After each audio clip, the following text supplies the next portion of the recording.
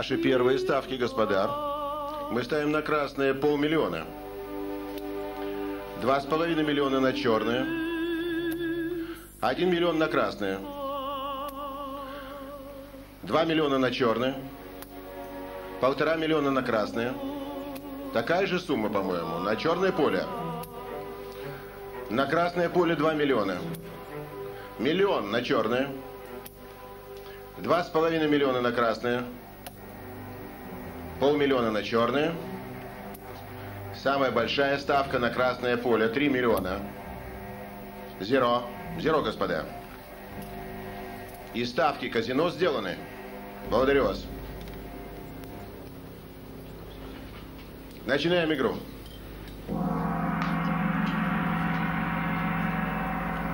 Добрый вечер в интеллектуальном казино, где каждый может заработать деньги своим собственным умом. Сегодня последняя отборочная игра. Сегодня, точнее через час, мы узнаем, кто выйдет в финал. Кандидатов осталось только двое. Команда господина Жаркова. Ее интеллектуальный уровень 16 миллионов 500 тысяч рублей. Но этот результат он уже не может изменить. Его игра позади. И команда господина Блинова, которая покажет свой интеллект сегодня. Господин Блинов, господин Жарков, вы хотите что-нибудь сказать друг другу?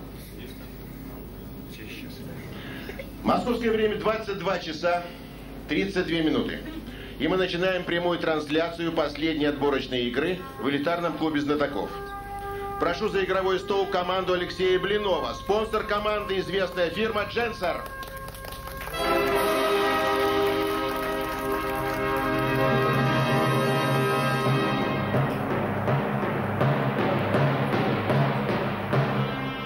Дочь бессмертного друзья Инна Друзь. Сам бессмертный игрок Александр Друзь. И бессмертный игрок Федор Генятин.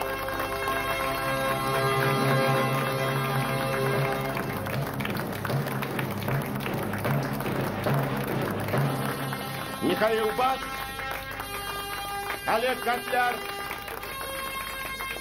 и капитан команды бессмертный игрок Алексей Блинов.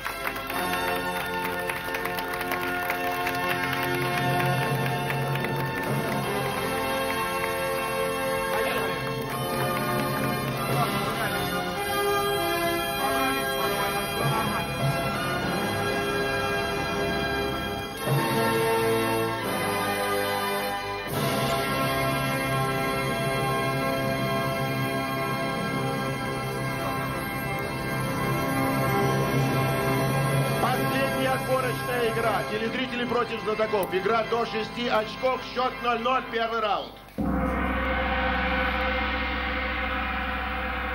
Господа из фирмы Дженсер, вы в зале? Дженсер на Тверской.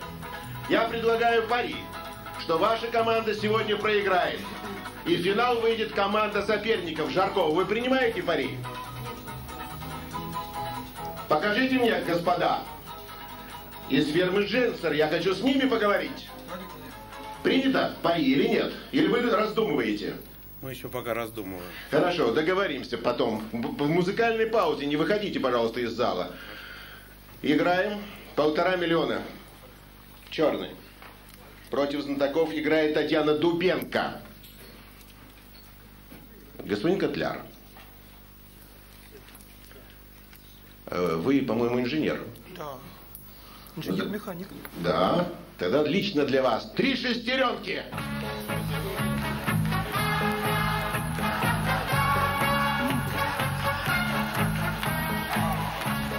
Господа, однажды в журнале Министерства обороны США был напечатан символ взаимодействия и совместных усилий военных, правительства и бизнесменов, состоящих из трех шестеренок. Над этим символом смеялась вся Америка. Давайте посмеемся и мы. Время. И что будет? Это не, вращается. Да, да, да, они не крутятся в таком случае. Они мешают друг другу. Три Если шестеренки. крутится одна, они не, не закрутятся никогда. Ну потому попробуй, крути, крути Да. одну, Они не закрутятся. Если одна крутится всё, то крутятся. Смотри, это вращается сюда, это Да, да, да, да, да, да. А тогда это это затирается это- между ними. Три есть углы, не крутятся. Все, Если бы их было четыре, скажем, они бы вращались. Да, а три они не могут. никогда, Федь. все. Отвечает Михаил Бас. Досрочный ответ. Михаил Бас, прошу вас. Значит, символ выглядел вот так, как на... я здесь разложил. Значит, три шестеренки, каждая касается двух других. В, в таком взаимодействии а, шестеренки двигаться не будут. То есть данное, меха- данное устройство не работоспособно. Господа, в американском журнале получился символ бесполезности совместных усилий военных, правительства и бизнесменов. В таком положении шестеренки не могут вращаться. Игра закончилась в этом раунде победой знатоков. Счет 1-0. Господин Груб, если Полтора можно... миллиона уходит в банк знатоков. Какой вопрос? Меняй пока. Если можно, зал водички бы попросить.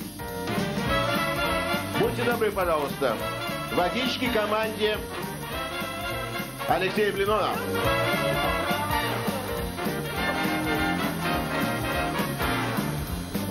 Один, вот следующий раунд.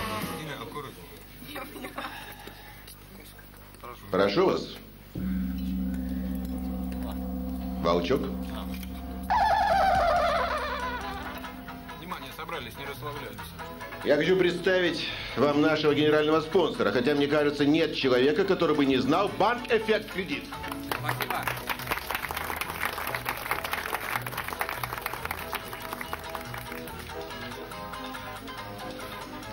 Вы можете делать ставки, но вы их не делаете. Ну немножко подождем. Полмиллиона красные. Против знатоков играет Тецуаки Сайто, Япония. Господин Котляр, вы ведь инженер, правда? Внимание, вопрос. Господа, представьте себе большой правильный конус. Отнимите у него русское углубление или японское возвышение и скажите, в какой фирме я работаю. Время. Яма, яма, яма, яма. Что это может быть? Фудзияма. Яма, мину- конус минус яма. Конус минус ям это... А ну там, там каждый конус Ну, сказали. фирма Ямаха японская. Ну и что? Ну, Так, еще Правильный раз. конус. От, от конуса отнять, от я- конуса отнять яма. сказали, а не конус. А конус, конус, большой правильный углубление. Конус. А что значит отнять яма? Вынул сверху яму, например, вулкан. А снизу яма? Они м- русское, русское углубление, или да, и вот Ну это яма, это понятно. Значит, давайте что... Это не может быть стимул какой-то фирмы, такой типа колпачка получается, или так, или вот так. Или наоборот, срезанный конус. А может до его, ребята, это вот у них вот такая, Это такой, значит... корейская. Ну и что? Нет, это Яма. японская фирма, он сказал. Ну, как В вопросе была японская фирма? Нет, в какой фирме я работаю? В какой фирме я работаю? Нет, ну вот у них вот такой вот точно этот конус, вот у них Ну, есть это сверху... должен это должен стимул фирмы, другого быть не может просто. Да, это должен быть символ, ну вот, вот либо так, либо так. Кто-нибудь, ты, ты знаешь что-нибудь такое? Ответ Блинова и его команды. Ответишь, да. Отвечает Александр Друзь. Ну, Саша, давай. Так, мы предположили, скорее всего, что неправильно, что это товарищ Тацуаки Сайто работает в фирме Даево, с чем символом является этот вот конус с э, убранной ямой. Покажите, пожалуйста, этот конус с убранной ямой. Ну вот мы думаем, что скорее всего либо вот так вот, ну конус, да, изображаю, здесь вот яма якобы вынута, либо вот так вот, я не помню просто символ. Понятно. Значит, товарищ Тецуоки работает в названной вами фирме. Внимание, правильный ответ. Дел, фирма Дел. Самый большой и правильный конус в Японии, действительно, по-моему, говорил Федор Двинятин, это Фуджияма. Одним, отнимем слово яма и, по- и получим название всемирно известной фирмы Фуджи, Фуджи фотофильм. Счет один-один.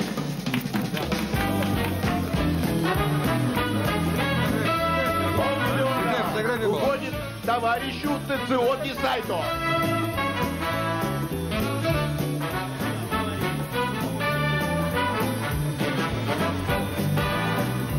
Сейчас фирма Фуджи Фильм дарит вам свою продукцию. Берите, это лучше, чем Кодак, и будете знать, что такое хорошая фирма.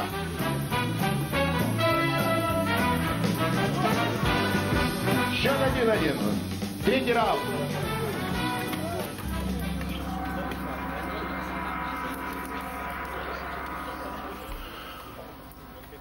Пожалуйста, Волчок. Господин Жарков, как вы начинали свой бой? Вы помните? Один-один. То же самое, да? Такой же был счет. И здесь один-один. Значит, пока ноздряк в ноздрю идем. Господин Блинов один на один. Да, Да. к сожалению. Смотрим на игровой стол. Ставки будут? Пока нет. Полтора миллиона красные. Полтора красных. Собрались. Играет Анатолий Ломзин, Москва. Господин Котляр, э, вы часто выпиваете? Нет. Нет? Владимир Викторович, Ну, нет. честно. Ну, честно. Внимание на экран.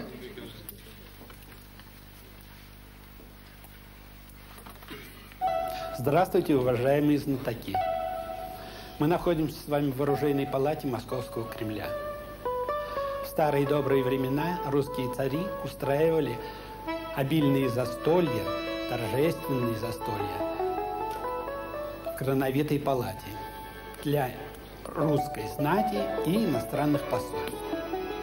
Туда вносились вот такие чудесные курильницы – в эти курильницы закладывались различные коренья, заливались ароматические вещества, спирты, смолы и поджигались.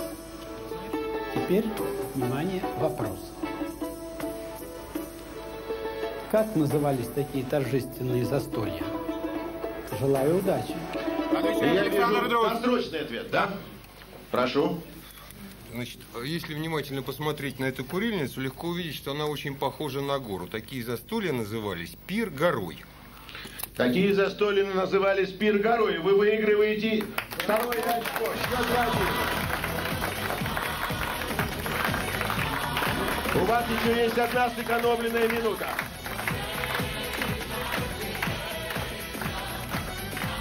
Полтора миллиона в банке знатоков.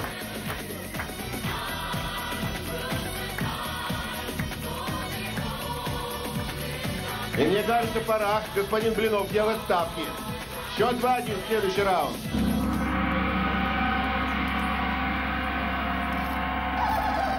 Полмиллиона на зеро. Полными миллионов. Как- Почему-то все ставят на зеро.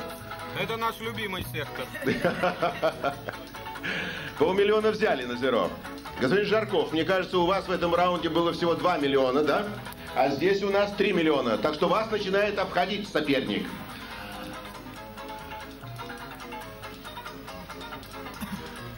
Кстати, вы, Жарков, рисковали больше, чем господин Блинов. Чаще ставили. Нет, ставка не сыграла, уходит до код казино. Полмиллиона черный. Полмиллиона черный. Играет Валерий Дудкин, город Измаил, Одесская область. Господин Друз теперь. Ваша жена жарит котлеты для вас. Вы даже не знаете, Нет, жа- что такое котлеты. Нет, я знаю, что такое котлета, она жарит. Она жарит. Внимание, вопрос. Американский репортер как-то спросил у Сальвадора Дали. Ну, я знаю вашу любовь к изобразительному искусству. Так вот он спросил у Сальвадора Дали, правда ли, что он изобразил свою жену с двумя котлетами на плечах? Правда, ответил Сальвадор Дали. Котлеты мне по вкусу, равно как и жена. Почему же не изобразить их вместе? А котлеты были жареные или сырые? Спросил репортер. Итак, я жду от вас экстравагантный ответ по поводу жены и котлет. Когда я начинал рисовать их, они были сырые, да? Когда я закончил, они стали жареные. Типа того, что жена горячая. Ну да, как? Только нужно сформулировать, не как когда я их клал, они были сырые, а когда снял жареные или когда начал рисовать. Э, они были жареные или горячие? Какой вопрос? Жареные или сырые? Жареные или сырые? А может быть, появление термина «жареные На факты», нет? эскизе они были Да, а на картине Не, ну он вообще экстравагантный. То есть вот именно... Только если этот версия, то когда я начинал рисовать, когда кончил или когда я положил, когда снял? Что лучше? Когда начинал. Когда начинал сырые, когда закончил жареные. Именно потому, что я сказал. Саш, может, пока я писал картину, она успела их пожарить? Они на ней поджарились. На момент начала, на момент конца. На момент начала, на момент Ответишь конца. тогда, да? Так, ну соберись. Нормально? Отвечает Федор Двинятин. Итак, Федор Двинятин. То самое главное, Федор, понять логику Сальвадора Дали. Конечно, вопрос бредовый. Слушаю вас. Дали, я не ручаюсь за точность ответа, ответил примерно так. Когда я начинал писать картину, эти котлеты были сырые. Когда я заканчивал ее писать, они были жареные. Жена-то при чем? Как А. Трусь сказал, горячий, что ли? Горячая жена была у Ну, понятно. Внимание, правильный ответ. Логика Дали проста. Помните? Котлеты мне по вкусу, жена тоже. Почему же не изобразить их вместе? Так и здесь Дали ответил. Котлеты были сырые, потому что жена-то у меня тоже сырая, а не жареная. На этом жареном вопросе вы проиграли очко. Счет становится 2-2.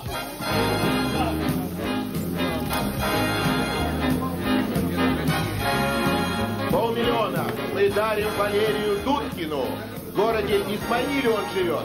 Так, спокойно, забыли про это. Пойдем. Счет 2-2. Следующий раунд. Спокойно. Феденька, Феденька. Бокс. Принимаем ставки. Первая ставка погорела ваша. Задумался Александр Друзь. Да, Ба- этот Дали так нас всех немножко удивил. Задумал, да. Да, задумал. Миллион черный. Да. Играет Константин Константинов, город Лисичанск. Господин Блинов, Да? вы любите поесть? Ну, а вы спрашиваете. Лично для вас японские новогодние блюда.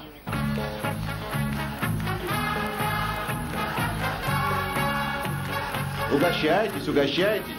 Вот лапша, лапша из гречневой муки, соба называется. А это бобы, бобы, соевые бобы. Вот рисовые лепешечки, покажите, пожалуйста, Блинову. Покажите, может он попробует. Моти, моти, моти, рисовые лепешечки, моти.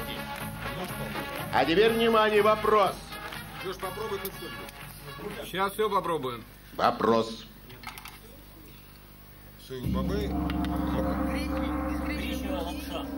Какое из этих трех новогодних блюд для японцев символизирует здоровье, какое долголетие, а какое изобилие? Здоровье, долголетие и... Изобилие. Ну, Рис, начнем. Рис, что, изобилие? Рис изобилия. Гре- Греча, что по- про гречу известно? Долголетие, может быть, эти, самые, они долгие. Что из этого долго? О, вот это, да. Так они долгие просто, ну. Они долгие, так. Да. Так, а, а бобы здоровье выходят, да? Наобо- Я бы наоборот, бобы, бобы изобилия. Бобы изобилия? А этот самый... э, А рис выходит здоровье? Здоровье, долголетие, изобилие. Потому что рис, Так, Бобов еще. там много, понимаешь? они Еще. э, ри- рис у них как бы всегда, да, бобы это более ценное нечто. Значит, это долголетие, это изобилие, а то здоровье. Определились с долголетием. Все согласны? Лапша, ну, чисто механически. да? А почему, а может, из гречи? А не может... не, Так, лапша- Она из гречи. а лапша Лапша из долголетия похожа, значит, рис и бобы. Ты все-таки считаешь, что бобы изобилия, да? Да я считаю... Нет, не берем. Бобы изобилия, а вот э, из риса Ну, это... из- Из рис здоровье, рис здоровье, а бобы Вы берете дополнительную минуту или отвечаете? Ответишь, Саша? Нет? Отвечаю. Отвечаете. Прошу. Так, сейчас, секундочку, я тут сориентируюсь. Ваш ответ. Ориентация должна быть в минуте обсуждения. Значит, это Итак, я присуждаю вам поражение. Тихо, тихо, тихо. Мы-то еще не начали, я только приготовил. Пора начать. Начинаем. Значит, вот эта лапша изображает из себя долголетие. Почему? Символит, ну она длинная такая, как моя жизнь. И Дальше. такая же серая. Дальше. Дальше. Рис, он символизирует здоровье, как очень полезный и особенно для японцев продукт.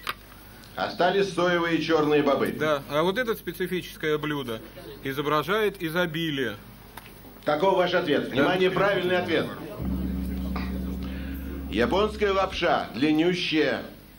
Дай бог, чтобы наша с вами жизнь была такая, но не такая серая. Лапша – это долголетие. То совершенно правильно. Более ценного для здоровья продукта, чем соевые бобы, трудно придумать. Бобы здоровья. А вкуснейшие лепешки изобилия. Счет становится 3-2. 3-2. В пользу команды телезрителей.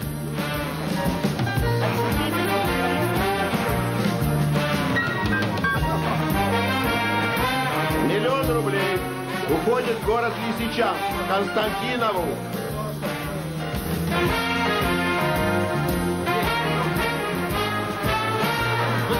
Собрались на другом. Давай собрались дальше. Все. Расслабились, проехали. Давай начнем играть. Господин Жирков, вы улыбаетесь. Я вместе с вами. Я голодный, улыбка вы. Следующий раунд.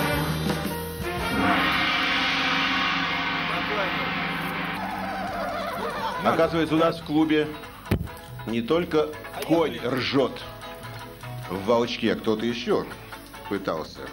Господа, давайте посмотрим в глаза этой команде, замечательной команде. Может быть, мы расстанемся с ней сегодня, поскольку если она проиграет, напоминаю, поражение знатоков влечет за собой их уход из клуба. То есть вам не нравится с нами играть? Вы считаете, что если мне нравится, я должен нарушать правила? Нет, про это речи не было. Один миллион красная.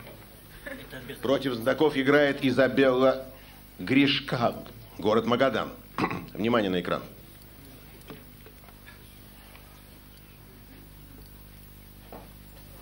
Господа, в декабре 1769 года княгиня Дашкова, будущий президент Российской Академии Наук, путешествуя по Европе, остановилась на одну ночь в Данциге, в гостинице. Войдя в свой номер, княгиня с удивлением увидела на самом видном месте картину, изображавшую победу прусских войск над русскими. На картине поверженные русские воины повсюду на коленях умоляли победителей прусаков о пощаде. У княгини не было достаточно денег, чтобы выкупить эту позорную картину и сжечь ее. Однако у нее хватило ума, чтобы с толком провести эту ночь. На утро не выспавшаяся, но удовлетворенная княгиня покинула Данцик. Внимание, Отвечает на вопрос.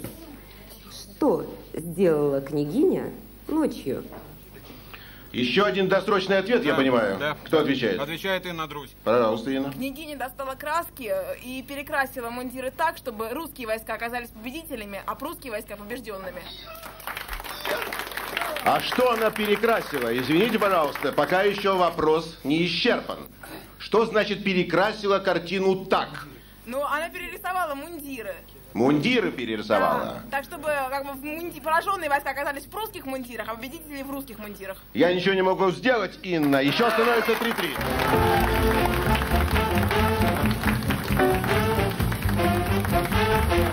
Один миллион рублей идет в банк на таком. И еще одна минута сэкономила Инна Друзь. А у нас минута тоже стоит сэкономленная. Внимание, заканчиваются гонки за выход в финал. Осталось всего два претендента. Это команда Георгия Жаркова. Она заработала 16,5 миллионов рублей. И команда Алексея Блинова. Сейчас сумма у нее пока 3,5 миллиона. Кто выйдет в финал? Сегодня одна из этих двух команд получит шанс стать бессмертной и участвовать в играх бессмертных в ноябре-декабре 95 года. Именно тогда будет названа лучшая команда за все 20 лет существования клуба. Лучшая команда отправится в кругосветное путешествие на лучшем в мире американском лайнере. Тогда же будет назван лучший игрок всех времен и народов. Он будет награжден большой бриллиантовой совой и большим призом. Вы видите сейчас лучший джип в мире. Победитель гонок в Дакаре. Джип Педжера. От лучшего в Москве автосалона Дженсер на Тверской. Лучший джип в мире, лучшему знатоку что, где, когда. Автомобиль чистых кровей. Следующий раунд.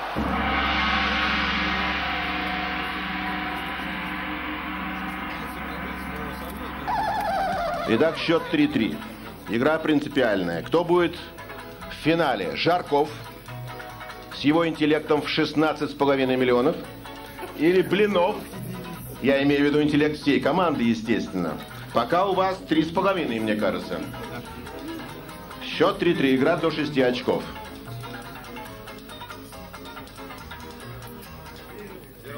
Зеро. А вы ничего не поставили. Ну, Итак, интеллектуальное казино против знатоков.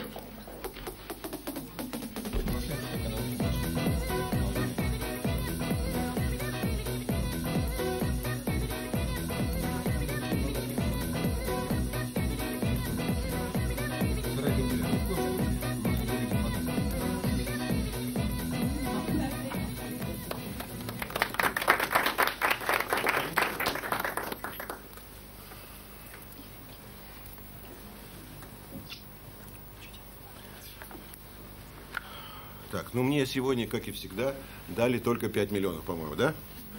Ни черта, не дают больше. Говорят, проиграюсь, пух и прах и разорю казино. У вас сколько? Три с половиной. Ва-банк? Нет? Ну, давайте попробуем. Еще какие варианты есть? Да,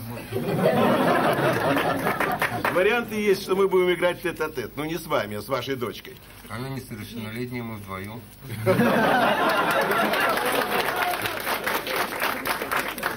Окей, вдвоем.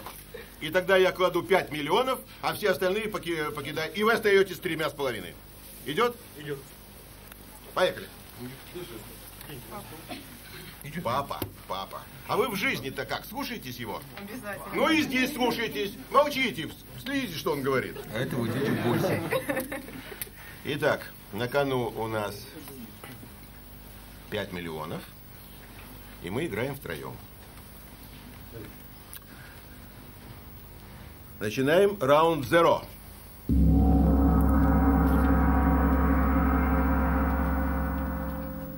Как вы думаете, господа, с помощью каких рассуждений, Инна, мы постигаем прекрасное? Человек постигает прекрасное. С помощью каких, какого рода рассуждений? По мнению Иммануила Канта. Время! Любовь не может быть. Пап. Человек постигает прекрасное.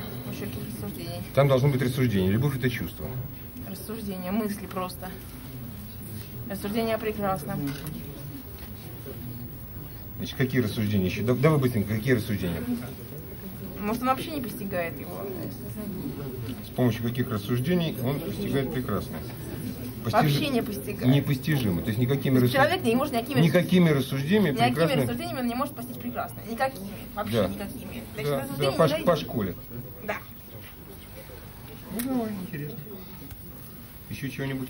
Ну, понимаешь, это что такое рассуждение? Это, вот можешь меня Человек сидит и думает. О чем Ну и ты думаешь? думает, он может думать о чем угодно. Ну и хорошо, значит, никакими рассуждениями. Прекрасно непостижимо. Да. Ну, примерно так. Отвечай. Чудесик. Так отвечай, ну что, ну все равно, Ну. это мы с тобой вдвоем все равно отвечаем. Считаем, Еще раз повторяю вопрос. Тихо. С помощью каких размышлений, с помощью какого рода размышлений, Инна, человек постигает прекрасное? Ваш ответ. Я считаю, что человек, поскольку прекрасно непостижим, то с, не с помощью никаких то как с помощью каких-либо развлечений человек не может его постичь. То есть с помощью никаких рассуждений. Вы считаете, что человек постигает прекрасное без рассуждений? Без никаких, то есть э, никакими рассуждениями нельзя постичь прекрасное. А размышлениями можно постичь? Нет. Прек- Нет. Прекрасное непостижимо. Девочка выиграла у меня. Остальное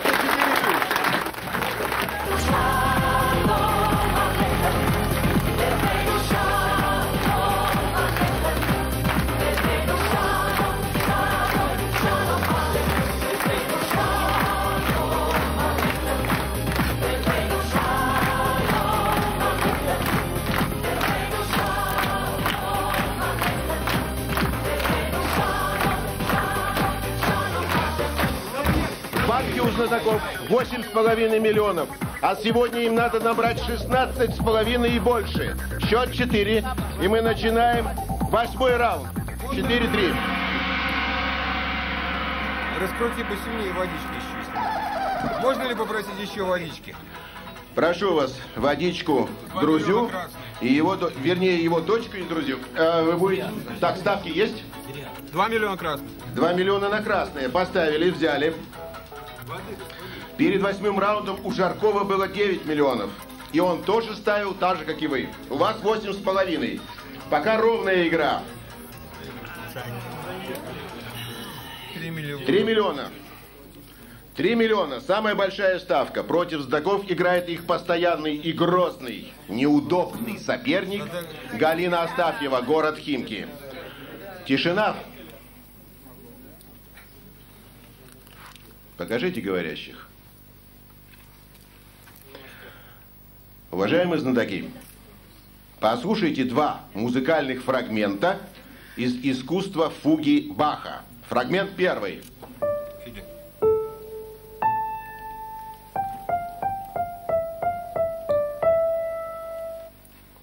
Фрагмент второй.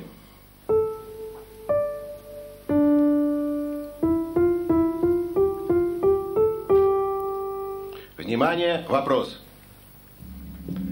У моего помощника находится предмет, который можно было бы поместить между этими двумя музыкальными фрагментами. Назовите этот предмет, Инна. Ключи могут Интервал, быть. Интервал. Что такое предмет? Не может быть, что-то дамское, потому что он ко мне обратился. А, ключ не может быть одно скрипичным, другое басовым. А, Кварта, Знаки, зна- квинта. значки, переход, пере- переходы из одного ритма в другой. Первое очень Там, похоже на ну, минор, второе на мажор. Как-нибудь переход этот. м, Ну там как раз переход, по-моему, в кварту. Как называются Кто-то все музыкальные значки? Не знаю. Не знаю. Это должен быть... Ребят, это первый очень похож на второй. Да. Четвертая нота отличие. идет. Отличается. Вот это что, различие в кварте. Похоже на скрипичный крючок. Вот эта штучка. Знак перехода Ну, как-нибудь, вот нет? В четвертой ноте, может быть, это соль просто в кармане. Нет. Одной нотой и все. Не может быть что-то написано на одной строчке, а на следующей строчке, потому что когда переходит одного фрагмента к другому, и стоит, и ставит еще раз ключ. Ребят, еще раз говорю, вот, может быть, если одной нотой фрагмент различается, Ребята, если при переходе от первого к второму меняется ключ, у него может быть ключ. Может, может быть, может менять. Может. Ну, я не знаю. Ну, это Почему? По завиткам, она похожа. Ответ знатоков. Отвечает Федор Двинятин. Минута у нас еще есть. Нет? Но вы ее не берете. Не берем. Отвечает Федор Двинятин. Я слышал эти слова. Прошу вас, Федор. Что у моего помощника сейчас? У вашего помощника ключ. Ключ. Таков ваш ответ. Перед тем, как я дам правильный ответ, можно ли повторить эти два коротких фрагмента? в ноте одно различие.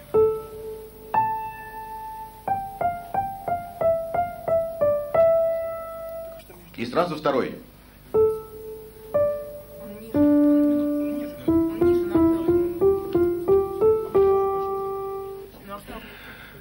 Тринадцатая фуга Баха представляет собой две фуги. Это же, вы понимаете, вы без музыки рассуждали, а надо было слушать музыку. Потому что эта фуга представляет из себя две фуги. Причем вторая фуга, в чем вы могли убедиться сейчас, точно воспроизводит первую в зеркальном отражении. У моего помощника зеркало. Покажите, пожалуйста. Вот. И вы проигрываете очень важное очко. 4-4.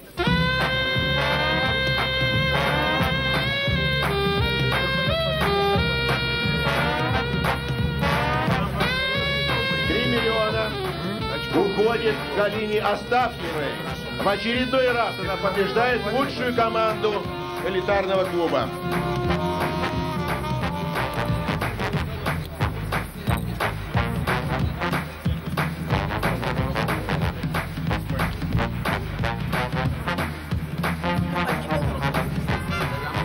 Следующий раунд. Они все могут сыграть.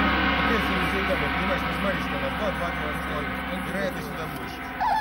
Сейчас девятый раунд. На этом раунде Жарков закончил свою игру. Он сделал правильную ставку, правда счет у него был 5-3. Это Два был с половиной черные. Два с половиной черные. Так вот, на этом раунде Жарков сделал все.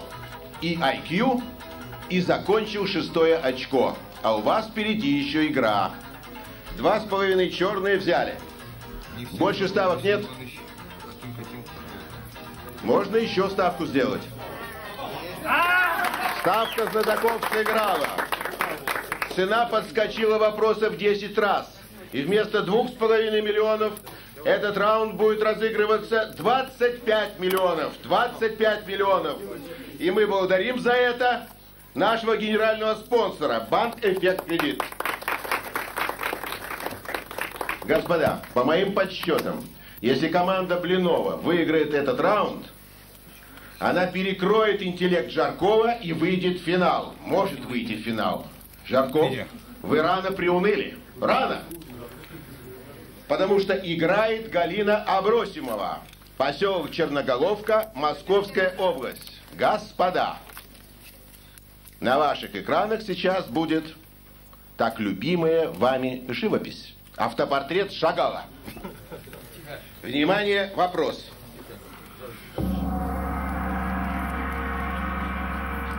Найдите на этой картине необычное. Сложите его с обычным и ответьте, в каком году написан этот автопортрет. Там, там Эйфелева башня сзади. Эйфелева башня необычная, Витебск обычный. А это должен быть год. Эйфелева башня к всемирной выставке строилась. Не, ну... Не, Он ну гораздо позже. перебор. Ребята, а, что-нибудь типа 40 года, на ней нету никакого этого за- защитное чего-то. Нет. Что слева от нее? Вот это вот пятно. Прожектора. Прожектора. 45-й. Война. Как, какой это год? 45-й? Правильно. Нет, раньше. Если это салют, Сороковой, почему, Сашка? Сороковой война какая? Сороковой, да. Питерский Слушай, а у него на руке, посмотри, сколько пальцев-то. Да не в этом дело. Да, все. Почему 40 40 или 45 Ребята, на, на правой руке 7 пальцев. На левой руке 7 пальцев. 47 год. Почему 47-й? Пи- пи- 37 Нет, 57-й. ребята, на одной руке 5 пальцев, на другой 7, 57-й. 57-й. В- А, необычное с обычным. Может, 75-й? Не, Нет, он не дожил. 57-й. Дожил. Дожил, да? Найдите необычное. Сравнить с обычной. 75-й. Необычная 7, обычная 5. 57 Мы смотрим 70. 57 справа налево. Найдите необычное. 57 Необычная 7. Необычная, Хорватских обычная. обычных. 75 57 Необычная, Вы берете вторую минуту, все, все э, сигналы были. Вторую. Да, да, да, берем. Смотри, Вторая необычную с обычной. Необычное он назвал первым. Сло- Необычное сложить с Да, все. Посмотри на картину. Слева направо. Ты еврей был. Право Необычное с обычным. Папа. Ты у еврея видел, как цифры пишут? Посмотрите на возраст, ребят, он 57 57. Да, 50 Ребята, он ну, дожил до молодой. 75-го. и Ну там молодой дольше. сравнительный. Мишка, ну что? Сколько ему лет было в 75-м, Миша? Он на человека плюс-минус несколько лет. Ну так вот, это Я 75 думал, вполне 50, нормально. 57. 57 он не может быть 77 Саша, молодой необычное сложить с обычным. Ну и Четко, что? Четко. Ну в каком порядке? Ты думаешь, что это тебе так это самое? Найдите в картине Давайте, необычное. давайте гадать. Это 75 или 57? 75 что думаешь? Найдите в картине молодой для необычное. 75-го, Кто будет Олег. Ну? Так а какой вопрос был? Вопрос какой? В каком году? В каком году написан портрет? Найдите. Надо просить повторить. Так это просто, может быть, просто в седьмом. А может быть 12 мужики? Нет. Вообще. 12-й уж тогда. 12 год. Сложить. Нет, он еще в Париже не был. Он не был в Париже 12 А когда, он был в 55 когда был? Почему в 12 году был в Париже? 57 Был, был, был. Отвечаем. 12 год, молодой, 12 год, все. Ответ знатоков. Господин. Блинов, подумайте. Кто отвечает? Отвечает Александр Друзь. Вот так. Беру на себя ответственность, что этот портрет написан в 12 году. Как это в 12-м? Как вы это, к этому пришли? Прошу вас. 5 плюс 7. У него на одной руке 5 пальцев, на другой 7. Сложили, получили 12 год. Так получается 57-й, как вы и говорите. 12 год, не надо меня покупать.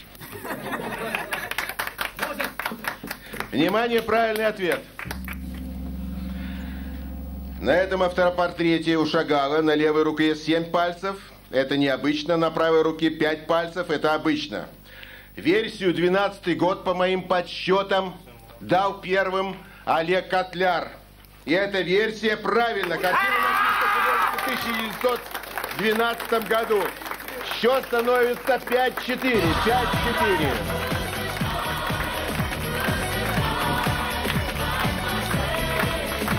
Господа, сенсация! Сейчас у знатоков в банке 29 миллионов. 29 миллионов. Команда Блинова превзошла IQ Жаркова. Теперь, чтобы выйти в финал, им достаточно выиграть игру. Они могут только выиграть игру. Игра почти сделана, и мы начинаем десятый раунд. Собрались, все собрались. Тишина.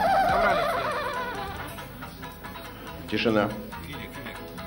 Каждый вопрос может решить судьбу финала.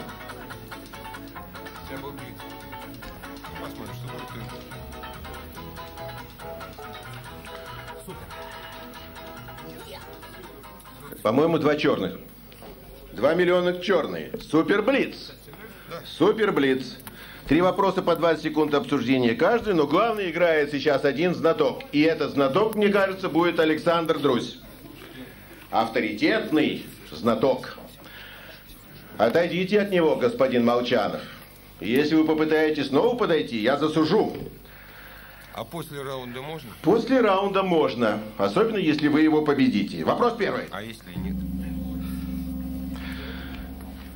Против друзья играет Лариса Рогут из поселка Красное, Слободзейский район. Господин Друзь, вы считаете себя богатым человеком, господин Друзь? Нет.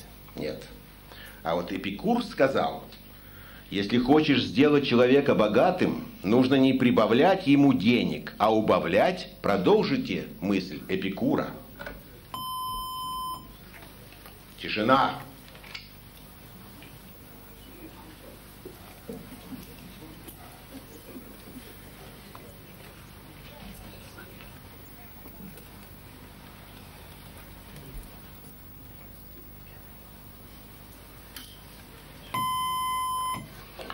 Господин Друзь, пришел момент.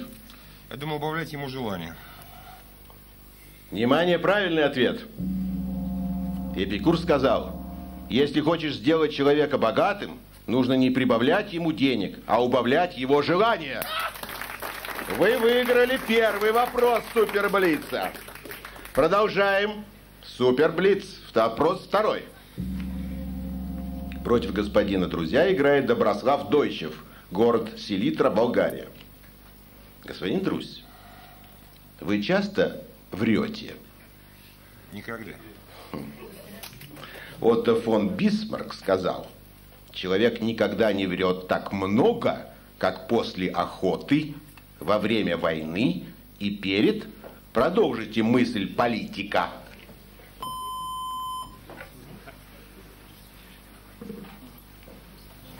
Покажите мне зал.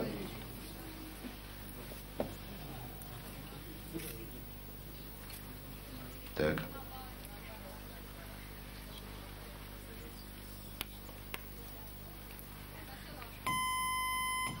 Господин Друзь, продолжите эту мысль. Рискнула сказать, что перед выборами. А теперь правильный ответ. Бисмарк сказал, человек никогда не врет так много, как после охоты, во время войны и перед выборами. Господин Друзь,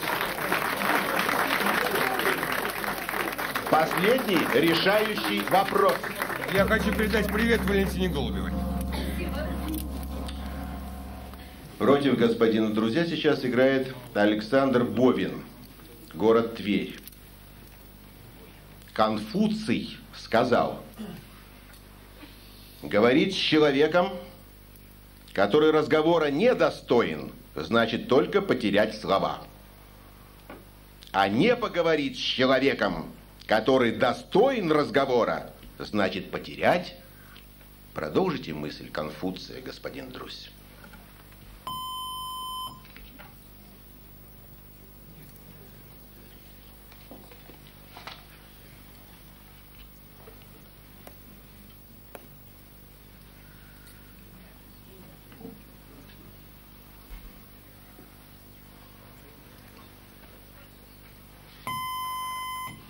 Господин Друзь. Значит, потерять лицо. Значит, потерять лицо. Внимание, правильный ответ.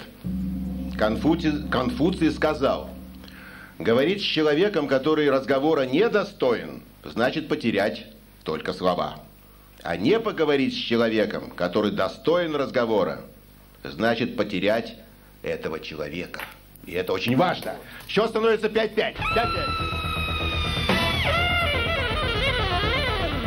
2 миллиона уходит в город Тверь Александру Бовину.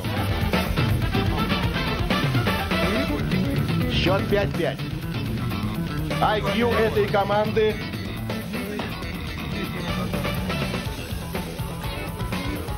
Двадцать девять миллионов. И сейчас я с уверенностью могу сказать, что одиннадцатый вопрос решит судьбу финала, судьбу этой команды. Одиннадцатый раунд.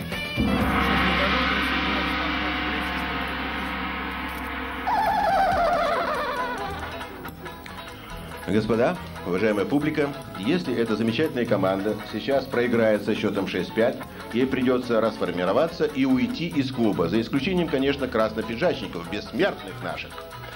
Но если она выиграет этот раунд, она будет в финале. 2 миллиона. Два красных. Два красных. Играет Мария Устина, Московская область. Господа, Нет? Нет, Нотр-Дам? через одну минуту, вслед за одним великим французом Андре Муруа, вы должны увидеть в соборе Парижской Богоматери символ другого великого француза. Время. Буква H, буква H, э, Гюго. Нотр-Дам. Его, Вот, согласен. смотрите, вот. Палка. Отвечаем, все, отвечаем. Отвечает Инна Друзь. Досрочный ответ. Команда рискует. Инна Друзь. Андре Муруа увидел в соборе Парижской Богоматери символ Виктора Гюго. Французский Виктор Гюго начинается с буквы H. Вот буква H. Покажите, покажите, Вот. как вы читаете этот Вот, вопрос. вер- две вертикальные палочки и одна горизонтальная. Раз вертикальная, два вертикальная, горизонтальная. А теперь внимание, правильный ответ. Андрей Маруа считал, что башня собора Парижской Богоматери напоминает латинскую букву H, с которой начинается фамилия Виктора Гюго по-французски, автора романа «Собора Парижской Богоматери». Счет становится 6-5. Герой этого, этой игры Инна Грудь. Счет становится 6-5 в пользу знатоков. Игра сделана. Победа знатоков. Команда Алексея Блинова показала высочайший интеллект нашего клуба. 32 миллиона рублей. Она обошла команду Георгия Жаркова и выигрывает гонки за выход в финал. Поздравляем команду Алексея Блинова.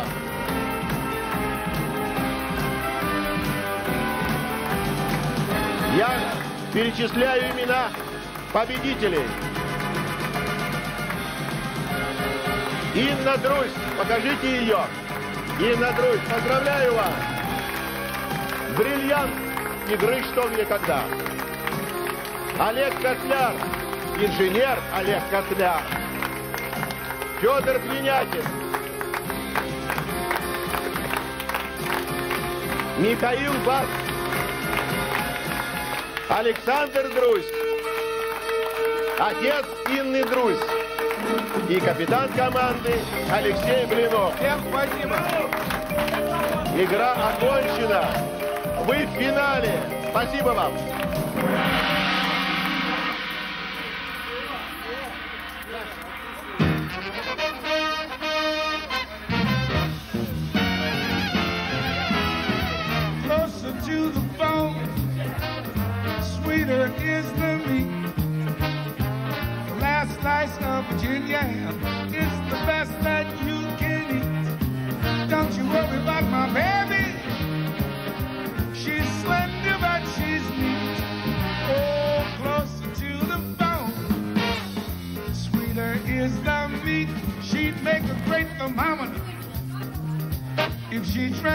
A glass of wine.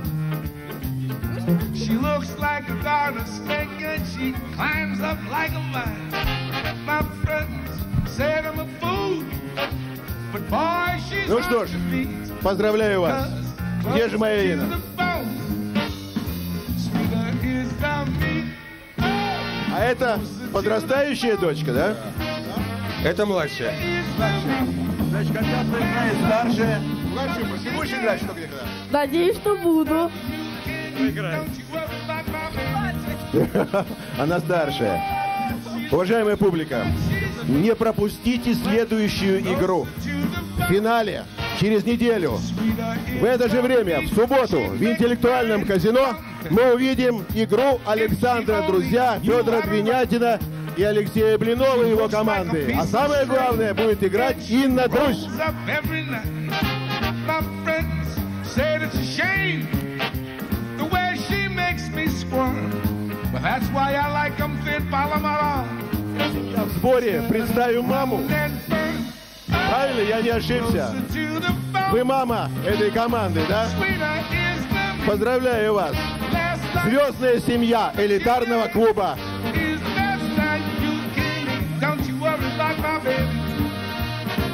Oh, she's slender, closer to the phone. Sweeter is the me.